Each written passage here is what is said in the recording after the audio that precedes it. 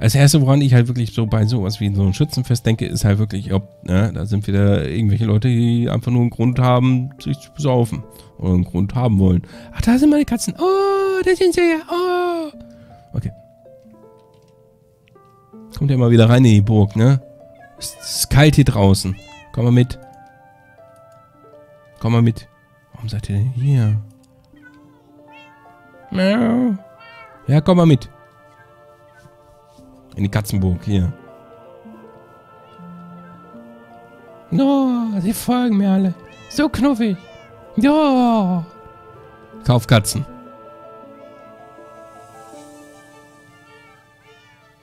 Bis die alle hinter einen herstreckt sind. Oh, so knuffig. Ja, da werde ich von so, so einem Thema wie irgendwelche Feste und Alkohol gleich wieder abgelenkt auf. Oh, guck mal, wie niedlich. Oh, guck mal, wie flauschig. Ja, Mammut halt, ne?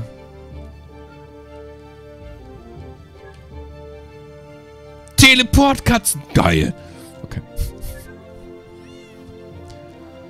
Ach ja, ach ja, ach ja. So ist das. So. Nium. Habt ihr gesehen, wie schnell er gelaufen ist? Zack, zack, zack. Mit dem Schwert hier ihm sagen, ja hier, ne, soll sich hinsetzen. Hinsetzen. Ähm, hinsetzen.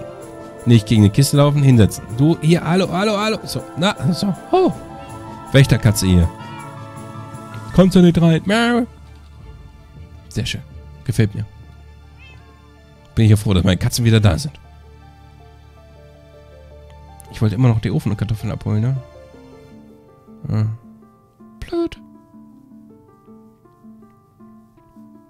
Noch so ein Thema. Worüber ich mir mal so ein bisschen Gedanken gemacht habe, ist tatsächlich die menschliche Evolution. In Zusammenhang mit der Natur. Oder generell der Mensch und der Einfluss auf die Natur. Ich weiß nicht genau, wie ich das äh, beschreiben soll. Jedenfalls habe ich mir so ein paar Gedanken dazu gemacht. Zu dem, wie sich der Mensch auf die Natur auswirkt. Und ähm, hier bin ich zu einem interessanten Schluss gekommen. In vielen, wenn nicht sogar sogar die, die meisten Fälle, in denen sich der Mensch in die Natur einmischt, entstehen dadurch viele negative Aspekte. Ne? Nur mal so als Beispiel Flussbegradigungen. Ne? Es gibt ja Flüsse, die würden äh, künstlich begradigt für, keine Ahnung, um mehr Bauplatz zu schaffen an bestimmten Orten oder hast du nicht gesehen. Und äh, infolgedessen gibt es dann dadurch, dass halt in diesem Fluss halt mehr Wasser fließt oder schneller das Wasser durchfließt, dann an anderen Orten öfter mal Überschwemmungen oder etwas in der Richtung. Ne? Oder es werden teilweise künstliche Flüsse angelegt und hast du nicht gesehen. Ne? Und das hat halt auf kurz oder lang auch Auswirkungen auf ähm, die Natur. Ne? Also halt, dass dann die Natur sagt, ja, ne, also irgendwie muss jetzt auch mal das Wasser da durch, ne? Also wir mussten da, wir sind so kein Arzt, aber wir sind Wasser, wir müssen da durch, ne? Und äh, dann kommt es dann hin und wieder dann halt zur Überschwemmung. Weil Grundtibetier einfügen. Und nur mal so als Beispiel. Oder aber der Mensch ist begierig nach irgendeinem bestimmten Holz. Mäht dadurch ähm, ganze Tropenwälder nieder und hast du nicht gesehen. Das hat auch wieder Auswirkungen auf Natur in Form von bestimmte Tierarten sterben aus. Oder bestimmte Baumarten sind vom Aussterben bedroht.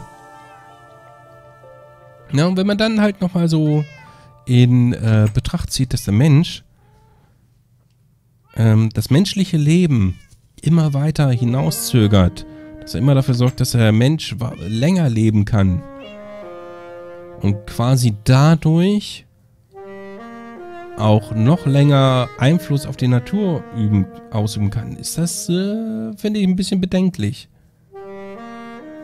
Ne, weil früher haben Menschen halt nicht so lange gelebt. Menschen hatten in ihrem Leben nicht ganz so viel Zeit, so viel Döneken zu machen. Noch dazu kommt, Menschen haben wesentlich länger Zeit, sich fortzupflanzen. Das wiederum bedeutet, die Menschen haben immer mehr und mehr eine Überbevölkerung.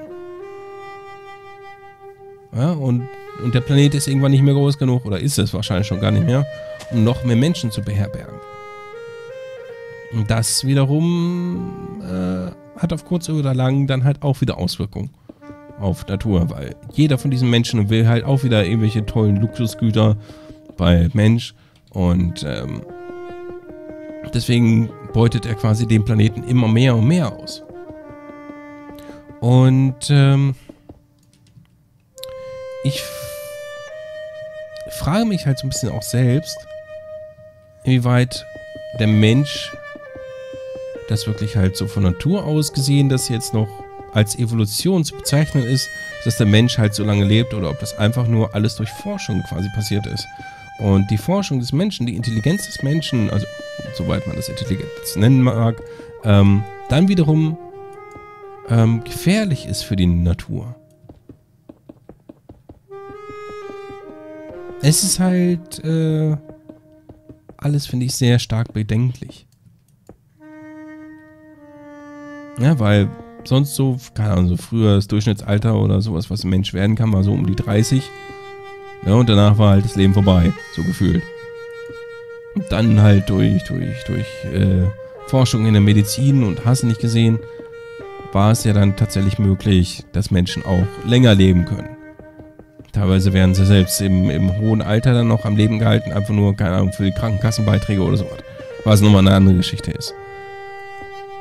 Ne? Aber sie leben länger. Sie verbrauchen länger irgendwelche Verbrauchsgüter. Ich weiß nicht, inwieweit das wirklich gut ist immer. Ob der Mensch eher halt so ein kurzes Leben haben sollte. Also kurz, was heißt hier kurz? Selbst 30 Jahre ist schon ein langes, langes Leben verglichen mit vielen anderen Lebewesen, die naturell bedingt so und so lange leben. Und der Mensch hat sich halt dann durch seine eigene Forschung so ein bisschen so angepasst, oder nicht? Aber bin ich da jetzt so vollkommen auf dem Holzweg und der Mensch hätte auch so, auch schon so lange leben können, auf Naturumwege. Ich bezweifle das irgendwie. Ne? Ich weiß ja nicht, ich weiß ja nicht. Also ich ich weiß nicht. Also ich will jetzt nicht sagen, oh mein Gott, töte jetzt alle Menschen oder sowas. Nur der Mensch sollte sich manchmal so ein bisschen mehr Gedanken machen, was er eigentlich für Auswirkungen auf alles hat. Ne, das sollte man nicht vergessen. Aber der Mensch sieht halt sein Leben als Geburtsrecht an und sein, sein Wille nach irgendwelchen Dingen, die er teilweise gar nicht haben sollte. Menschen sind halt furchtbar. Immer und immer wieder.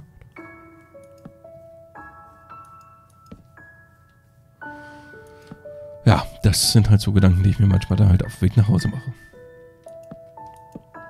Einfach mal, ne? Drüber nachdenken, was tun Menschen? Was für eine Auswirkung hat das, was Menschen tun?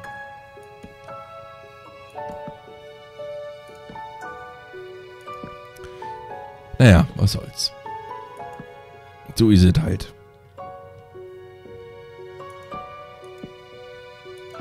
Hier muss ich mir auch noch überlegen, wie ich das hier irgendwann mal mit der Beleuchtung mache. Hier wollte ich ja... Welche Türme wollte ich denn jetzt hier hin haben? Wenn ich das ja noch wüsste. Müsste ich die Folge dazu mal gucken. Oh Gott. Eigene Folgen gucken ist auch noch so ein, so ein, so ein, so ein Ding der Unglaubbarkeit. Manchmal denkt man sich einfach nur, wenn man sich selbst mal spielen zusieht, so, Alter, das hast du jetzt nicht getan. Alter, das sieht man doch. Alter, das hättest du sp anders spielen können. Ne? Und ähm, ja, in vielen Punkten hätte ich das manchmal auch, aber ich hab's nicht.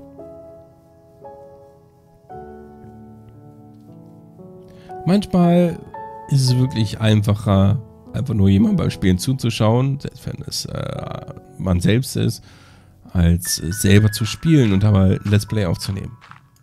Es macht ja auch immer noch einen Unterschied, ob du halt irgendwie selber ein Let's Play aufnimmst oder einfach nur spielst. Oder einfach nur ne, irgendwo zuschaust. Das sind so viele Faktoren, die manchmal halt überall mit reinspielen, die dann zum Spielverhalten beitragen. Es ist, mag man sich vielleicht so aus einer objektiven Sicht vielleicht gar nicht mal vorstellen. Vielleicht nicht mal durch die subjektive, ich weiß es nicht. Aber ihr könnt mir glauben, es macht einen immensen Unterschied. Einfach nur zuschauen, irgendwo merken, was andere falsch machen. Einfach nur spielen oder halt sogar ein Let's Play aufnehmen. Weil du halt durch deine Konzentration so viel abgelenkt bist auf andere Geschichten, das ist wow. Einfach nur wow. So, aber haben wir gleich wieder eine Mauer hochgezogen. Soll noch einer sagen, wir würden hier nicht vorankommen. Müssen wir halt dann bei Zeit nur noch die ganzen Türme hier hochziehen und vielleicht hier nochmal ein bisschen Mauer einreißen, um den Turm wieder hochzuziehen. Ja, ja, aber wir kommen voran. Wenn das nicht gut ist, du, dann weiß ich auch nicht. So. Jetzt hier einfach mal die Mauer wieder dicht machen. Ne, die ganzen Zinnen und sowas, was da halt ist und so, das kommt halt dann später irgendwann. Das wird halt auch nochmal einiges an Zeit kosten. Leider. Aber wie ich schon gesagt habe, wir nehmen uns einfach die Zeit. Einfach mal, weil wir es können.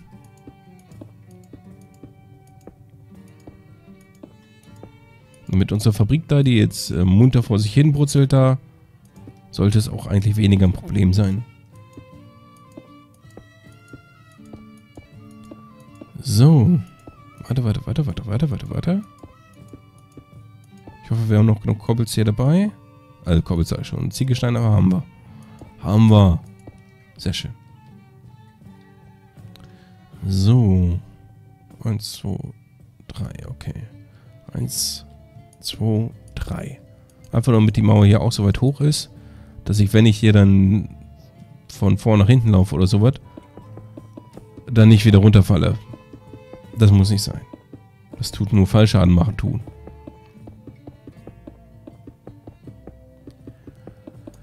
Ja, ja. So ist das.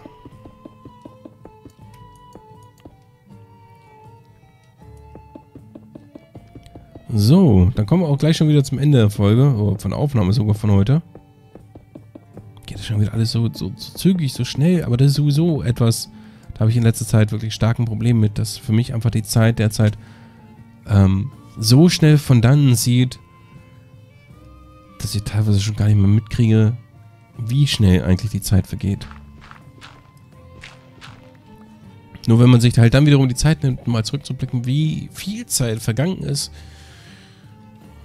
dann hat man dann tatsächlich schon wieder so ein bisschen das Gefühl, wie viel Zeit wirklich vergangen ist. Das macht Sinn. Da kann mir keiner mehr folgen. Ist mir egal. Ähm, jedenfalls, manchmal hast du wirklich das Gefühl, die Zeit rennt einfach nur weg. Weil du einfach in dieser Zeit, die du hattest, nichts schaffen konntest. Oder zumindest nicht so viel geschafft hast, wie du dir vorgestellt hast. Es ist halt... Ja. Immer wieder furchtbar. Hui. Vielleicht sollte ich hier vorne auch nochmal so ein, so ein Soundgutter oder sowas einfügen. Einfach nur als Sicherheit gegen Mobs. Ich meine, bisher kam hier noch nichts rein. Ich glaube auch nicht, dass da so viel passieren wird, wenn wir es hier irgendwann nochmal vernünftig beleuchten und sowas. Aber die Möglichkeit besteht. Ne? So, nehmen wir nochmal ein paar Ziegel raus. Die Ziegel werden wir zwar auch erst in der nächsten Folge weiter verwursteln. Aber da haben wir sie schon mal. Dann müssen wir nicht nochmal in die Fabrik laufen. Zumindest nicht fürs Erste. Und dann mal gucken. Da ist nichts mehr. Da ist noch ein bisschen was. So. Dann begeben wir uns mal in der Aufnahmepause. Es wird auch schon wieder dunkel. Passend natürlich. Und dann mal schauen, was wir nächste Folge machen. Ob wir da tatsächlich an der Dingens weiterwerkeln. Wir könnten eigentlich. Es spricht ja eigentlich nicht so viel dagegen. Vielleicht gehen wir auch in eine ganz andere Ecke. Ich weiß es nicht. Ne? So. Aber nur denn. Ich verabschiede mich dann jetzt hier an der Stelle. Wünsche euch dann jetzt noch einen schönen Resttag. Viel Spaß weiterhin auf YouTube und wir sehen uns in der nächsten Folge von Minecraft. Bis denne.